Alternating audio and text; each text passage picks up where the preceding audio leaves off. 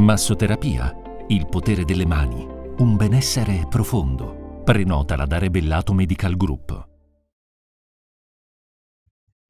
TG Plus News Treviso, ben ritrovati, apriamo con una notizia di politica che arriva da Villorba. Eleonora Rosso ha ufficialmente rassegnato le proprie dimissioni da assessore alla cultura del comune villorbese. Eleonora Rosso aveva già comunque informato il sindaco e la giunta della sua decisione legata motivi personali la scorsa primavera con l'intenzione comunque di portare a compimento le iniziative culturali attualmente in corso e programmate per la cosiddetta estate di Villorba. Eleonora Rosso cesserà il proprio incarico dunque il prossimo 31 luglio e il primo cittadino, Francesco Soligo, nelle prossime settimane scioglierà le riserve per indicare il nome del nuovo assessore.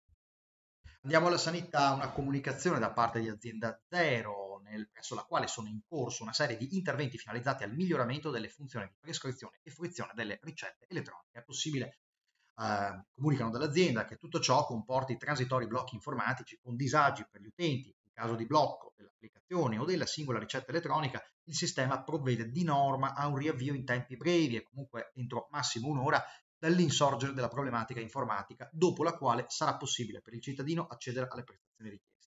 In ogni caso, precisano da azienda zero, gli interventi informatici di sviluppo verranno completati nell'arco di alcune giornate, terminate le quali il sistema tornerà pienamente operativo. Trasmesso oggi alla Presidente del Consiglio Meloni la richiesta dell'attivazione dello stato di emergenza nazionale. Il maltempo che ha flagellato in questi giorni la Regione Veneto e l'intero nord Italia ha provocato danni gravi e diffusi, oltre il ferimento di numerose persone.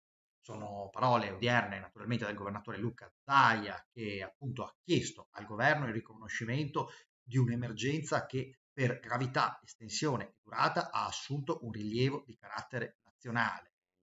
Il governatore ha anche richiesto la possibilità di accesso al fondo di solidarietà previsto per i danni catastrofali.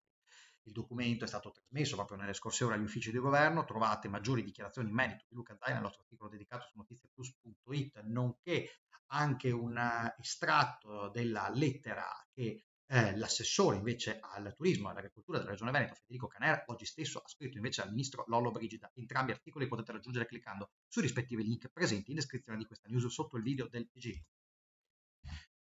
Incidente a Vittorio Veneto, un automobilista è finito all'ospedale dopo una fuoriuscita dalla carreggiata. L'episodio è accaduto all'altezza dell'incrocio tra via Vittorio Emanuele e via Dalmazia, poco lontano da un ristorante. Le, eh, sul posto sono intervenuti subito i carabinieri, naturalmente della compagnia locale, oltre ai sanitari del 118. I soccorritori hanno ricoverato l'automobilista in ospedale a Conegliano con ferite di media gravità.